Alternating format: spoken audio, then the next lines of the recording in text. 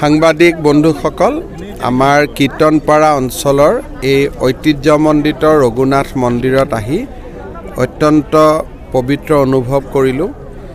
এই মন্দিৰটোৰ এটা অতি জানিবলগীয়া বিষয় এইটোৱে যে ইয়াত ভগৱান শ্ৰীৰাম লক্ষ্মণ আৰু সীতা আছে কিন্তু ৰামৰ প্ৰতিমূৰ্তিটো সেউজীয়া আকাৰৰ। ভাৰতবৰ্ষত সেউজীয়া বৰণৰ ৰামৰ প্ৰতিমূৰ্তি সাধাৰণতে দেখা নাযায়।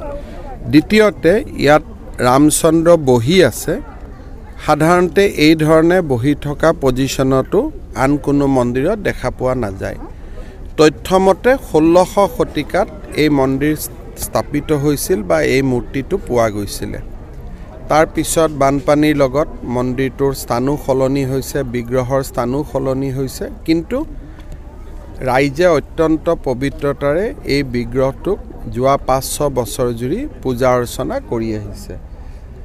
ধৰ্মপান ৰাইজক মই অনুৰোধ কৰিম যে আপোনালোক কীৰ্তনপাৰাত আহিব। এই ৰাম মন্দিৰটো ৰাম লক্ষ্মণ সীতাক একেলগে চাব। আপোনালোকে আধ্যাত্মিক আনন্দ লাভ কৰিব। সৃজন সৃজন গামৰ এই অনুষ্ঠানটোত। আৰু এই সৃজন গামত এই যিটো আমাৰ ৰাম মন্দিৰ বা ৰাম লক্ষ্মণ সীতাৰ বিগ্ৰহ আছে ইয়াত আমি এটা নামঘৰ এটা অতিথিশালা আৰু ভৱিষ্যতে এটা নাটঘৰ। এই তিনিওটা আমি ইয়াত ডেভেলপ কৰিম আৰু ছ'লাৰ লাইটিঙৰো আমি ব্যৱস্থা কৰিম। মই ভাবোঁ যে এই গোটেইখিনি কাম কৰিলে আমাৰ সৃজনগাম বা ৰঘুনাথ মন্দিৰ সত্ৰৰ এটা পৰ্যটকৰ বাবে আকৰ্ষণৰ স্থলী হৈ পৰিব। আৰু ইয়াৰ ৰাইজক বিভিন্ন প্ৰতিকূলাৰ প্ৰতিকূলতাৰ মাজতো বিশেষকৈ বান আদিৰ সন্মুখীন হোৱাৰ পিছতো এই মন্দিৰক ইমান পবিত্ৰ কৰি ৰখাৰ বাবে মই ধন্যবাদ আৰু কৃতজ্ঞতা জনাইছোঁ। চাওক মাটিৰ বেদখলৰ কিছুমান সংজ্ঞা আছে যেনে এসময়ত বহুত মাটি মন্দিৰ সত্ৰৰ আছিলে।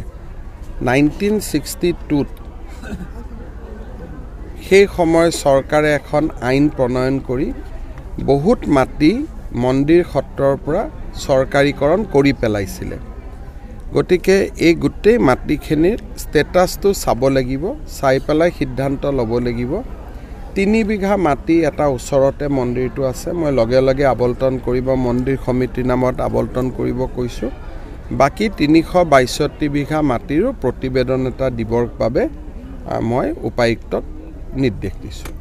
ছাৰ আপুনি দুহেজাৰ ছয় চনত এই অঞ্চললৈ আহিছিল। তেতিয়া পশ্চিম অসমৰ কেইবাখনো জিলাক আপুনি ভেঞ্চাৰ বুলি আখ্যা দিছিলে।